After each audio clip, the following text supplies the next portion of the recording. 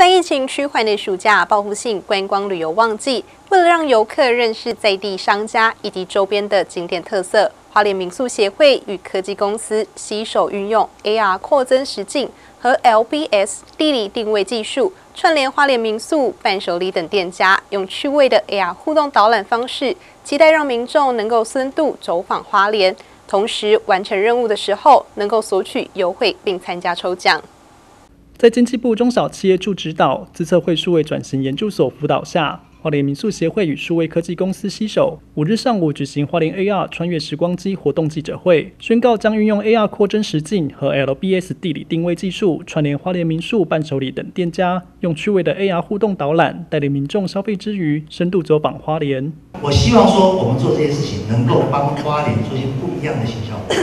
那我跟执行长要求说，我们不止二十九个店家。后面我们会继续扩充，比如说民宿、饭店、伴手礼、餐厅等等。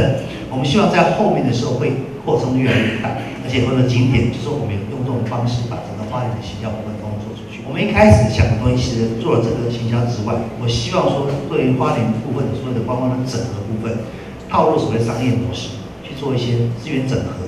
然后最后变成一个商业模式跟一个平台。我们讲说明年。我们今年可会朝向这个方向去做一些计划。AR 的 LBS 的这个定位的模式，我觉得它比较特别的地方哦，就是像现在的非接触式经济哈，大家来到花莲，透过自己的手机，你现场的定位大概一公里的范围哈，等下大家可以带大家来实际的体验导览，就变成是说，你可以在你的一公里范围内去看到我附近的景点，哎，哪些好吃好玩的，全部呈现在我眼前。那我第一步可以先做导航，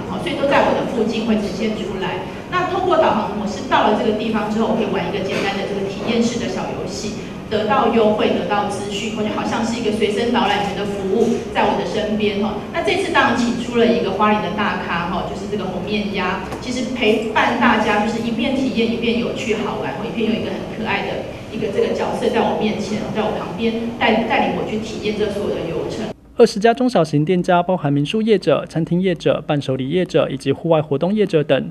期盼以寻宝方式将游客导引至店家，完成任务几点还可参加抽奖，同时带领店家发展新商机。想了解更多活动详情以及相关优惠，可上网搜寻花莲 AR 穿越时光机。记者蒋邦彦，华联市报道。